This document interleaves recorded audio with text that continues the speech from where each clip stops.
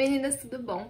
Eu tô aqui hoje pra mais um Uma Paleta 4 Looks com a 12 Shades da Mariana Sade com a Oceane E eu já vou começar esse vídeo me desculpando pela falta de maquiagem de Halloween, gente, desculpa eu realmente estava fazendo a maquiagem de teste para ensinar o vídeo pra vocês, só que a minha pele ficou muito irritada. Ela já estava sensibilizada e agora ela tá muito irritada, então ela não aguentaria mais uma maquiagem. Ela tá super vermelha, ardendo e descamando. Então, peço desculpas. E é por isso que hoje eu não passei base. A minha pele tá só com corretivo, mas a gente vai fazer juntos os olhos, o blush e a boca, porque eu pretendo usar a paleta pra tudo isso. E a make de hoje vai ser monocromática rosa. Porque uma seguidora aqui do canal, é estranho falar seguidora, uma seguidora aqui do canal, eu sei que é inscrita, gente, mas acho falar inscrita aqui do canal meio esquisito. Então, uma seguidora aqui do canal pediu pra eu fazer uma make rosa com essa paleta. Então é isso que a gente vai fazer hoje, a gente vai fazer uma make mais monocromática, toda no rosinha queimado. Bora! Então, nós já estamos aqui pertinho. Eu vou passar uma sombra mais clarinha abaixo da sobrancelha pra iluminar. E não vai ser da paleta, vai ser um iluminador mesmo, porque eu sinto que essa paleta não tem uma sombra assim mais clarinha pra passar como iluminador.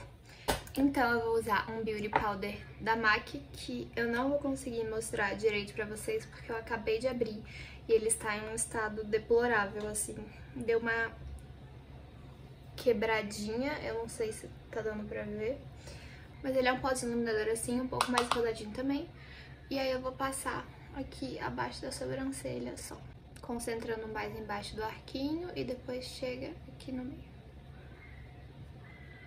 Só isso. Agora eu vou passar pra parte divertida, né? Que é o rosa.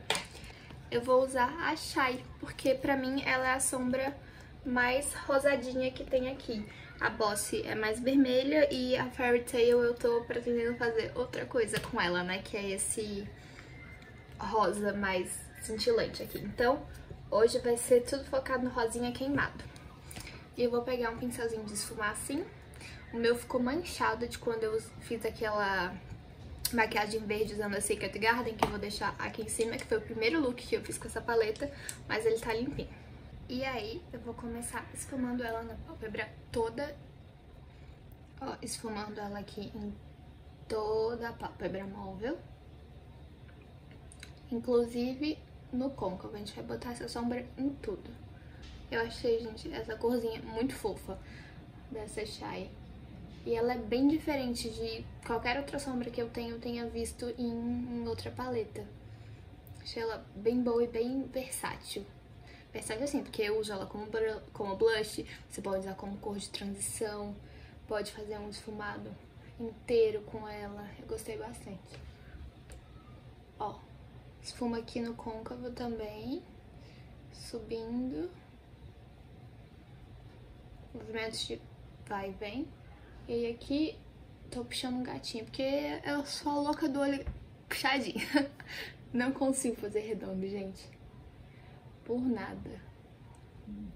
E aí agora que eu já esfumei a Shai em cima dos dois olhos, vamos pra parte de baixo. Gente, a make de hoje é super simples, super fácil.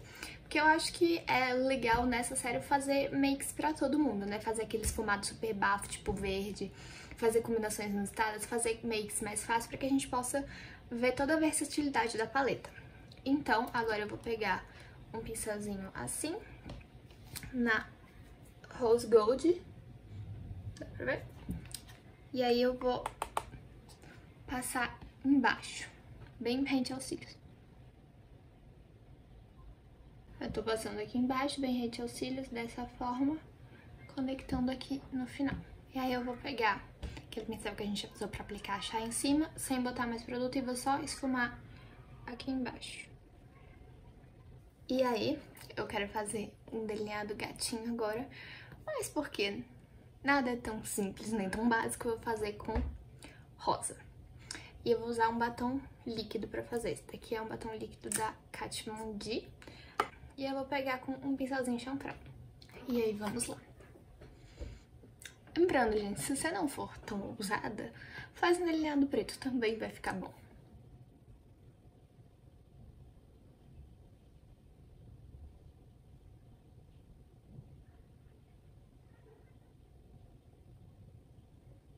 Tá pronto. E aí, eu gostei mais do gatinho, do estilo de gatinho que eu fiz do lado esquerdo do que do direito, mas é isso. Vida que segue. E aí agora é aquele momento que eu vou passar rímel e eu já volto. Acabei de passar rímel e eu acho impressionante como o rímel deixa a maquiagem muito mais bonita, como fica tudo mais coeso, né? Muito legal. E agora vamos pro resto da make. Bom, primeiramente eu vou passar um pouquinho de iluminador no nariz, que é o WhatsApp da Benefit, que eu não consigo viver sem. Só passei aqui no meio e tô esfumando. Pronto. E agora eu acho que tá precisando dar uma aquecida no rosto, nessa maquiagem toda. Então eu vou usar o Hula da Benefit como bronzer. Eu vou passar assim, só um pouquinho. Aqui, fazendo um efeito de bronzer e contorno ao mesmo tempo. Gente, eu acho muito estranho passar bronzer sem ter base no rosto, sabia? Blush eu não acho não, mas bronzer eu acho. Acho que não combina muito comigo. Mas no final eu gosto do resultado. Pronto, só um pouquinho de bronzer mesmo.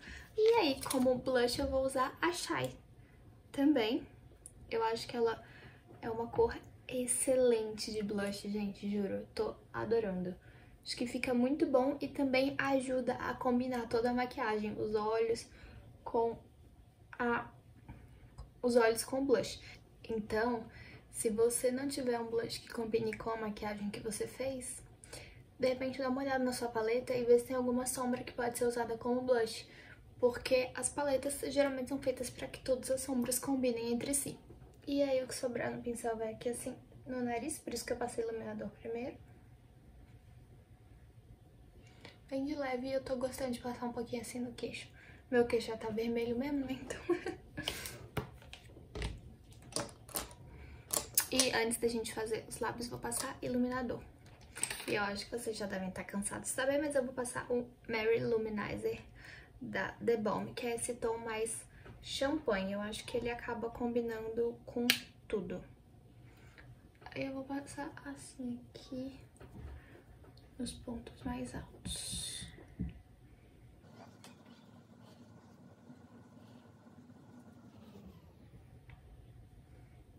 pouquinho no nariz também. E aí eu vou pegar com um pincelzinho menor e vou passar aqui no cantinho interno do olho também.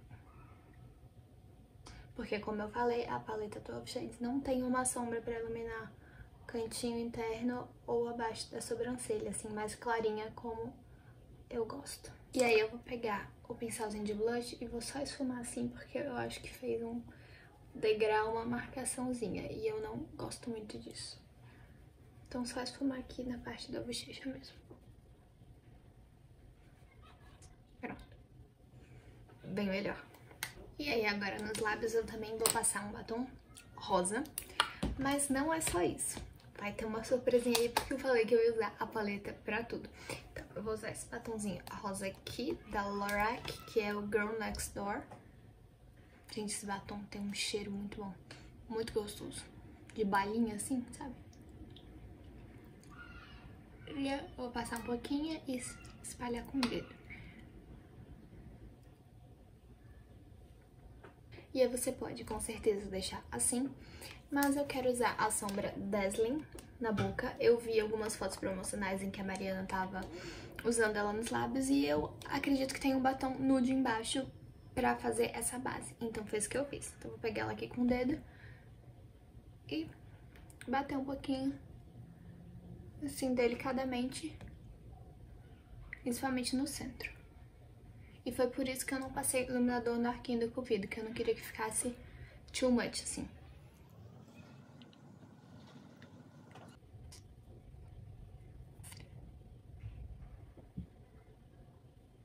E é isso, pessoal. Assim termina o nosso terceiro look da série Uma Paleta 4 Looks. Esse mais rosinha queimado. Super usável assim pro dia, super fácil de fazer. Eu espero que vocês tenham gostado. Me conta aqui embaixo nos comentários, curte esse vídeo e se inscreve no canal. Um beijo e até a próxima!